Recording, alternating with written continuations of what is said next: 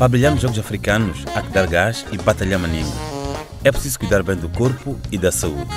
Quando chega o momento de chilar, nada de perder noites, nada de álcool e nada de se espalhar. Na vida, cada escolha é um desafio. Proteja-te. Chilling saudável.